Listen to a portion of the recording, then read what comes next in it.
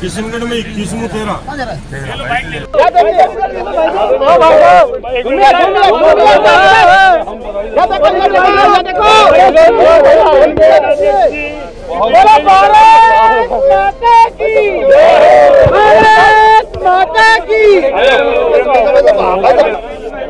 आइए आइए आइए आइए आइए मैम। आइए आइए भैया थोड़ा घूमो यार। शत्रुघ्न जी शत्रुघ्न जी जो अभी परिणाम आए हैं बागरे चौधरी जी को एक जगह लिए बढ़ो बधाई देने पहुँचा है महिला मोर्चा के अध्यक्ष पार्टी श्रीवास्तव गिगनी के विधायक गौतम सहित पीछे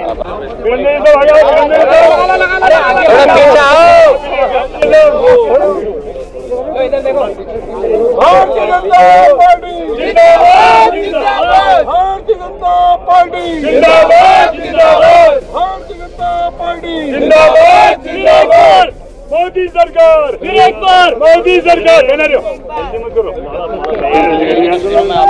हैं के पदाधिकारी पहुँचे हैं स्वागत करने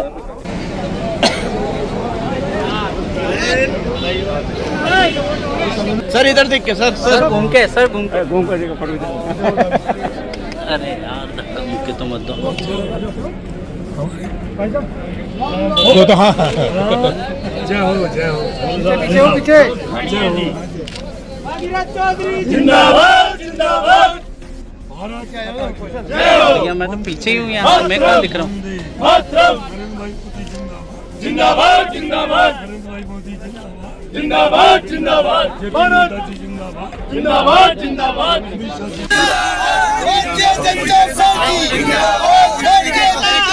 जिंदाबाद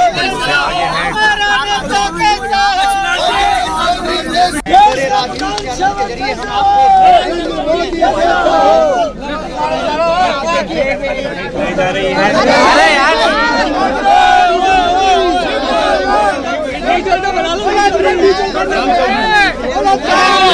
आईडी तो नीचे करना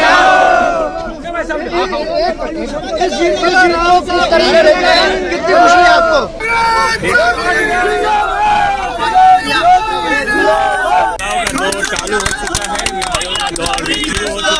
देख सकते हैं ब्रेक लाने का भी शुरू हो चुका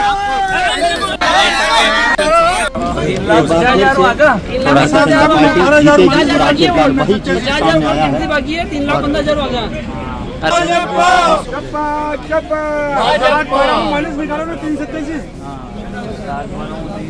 भारत टाटा की तीन पंद्रह डन हो तीन हज़ार सुनो एक दो तीन चार पाँच डन हो गए अभी तो तीन दो तीन राउंड बाकी है तीन राउंड दो बाकी है। उन्नीस सौ दो मसूदा हो तीन बाकी है दो मसूदा भारतीय जनता पार्टी जिंदाबाद हमारा मंत्री कैसा हो कांग्रेस मंत्री जैसा हो बालाजी महाराज की फ़ोटो ले लो फ़ोटो फ़ोटो दर्शकों और इनमें फ़िलहाल अभी के लिए इतना ही फिर मिलेंगे आपसे अगली खबर के साथ फ़िलहाल अभी के लिए दीजिए इजाज़त। अभी तक की जो बड़ी अपडेट है निन्यानवे हज़ार दो सौ और मुर्शिदाबाद यह सीटें पूरी तरह से बाकी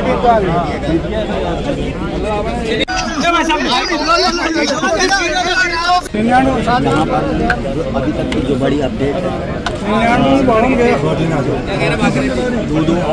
निन्यानवे हज़ार दो सौ और यह सीटें पूरी तरह से बाकी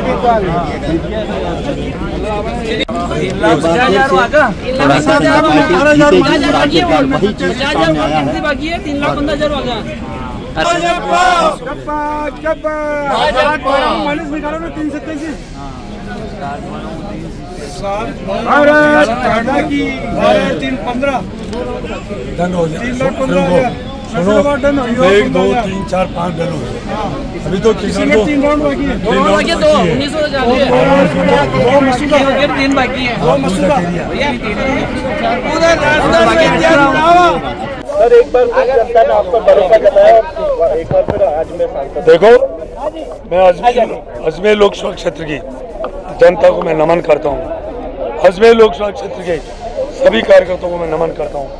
अजमेर लोकसभा क्षेत्र के सभी हमारे संगठन के पदाधिकारी अजमेर लोकसभा क्षेत्र के सभी जनप्रतिनिधि, उनको भी मैं नमन करता हूँ कि उन्होंने अथक मेहनत करके, मेरे जैसे छोटे से कार्यकर्ताओं को अजमेर लोकसभा क्षेत्र का दोबारा सांसद मुझे बनाकर दिल्ली भेजा और तीसरी बार प्रधानमंत्री मोदी जी बनेंगे और सर्वांगीण विकास होगा, कोई विकास में कमी नहीं रखेंगे। इसलिए ये सारा श्रेय जनता, कार्यकर्ता, नेता प्रदेश नेतृत्व और केंद्र नेतृत्व उनको देता हूँ जिन्होंने मुझ पर भरोसा किया विश्वास किया और मुझे भारतीय जनता पार्टी अजमेर लोकसभा क्षेत्र का उम्मीदवार बना के जनता के आशीर्वाद लेने के मुझे भेजा और इन्होंने मुझे भरपूर आशीर्वाद दिया। सर एक बार फिर आपको सांसद चुना गया। आगे किस तरीके के नवाचार अजमेर संभाग को लेकर के होंगे? किस तरह के देखिए 2019 से 2019 से चौबीस में विषम परिस्थितियाँ थी।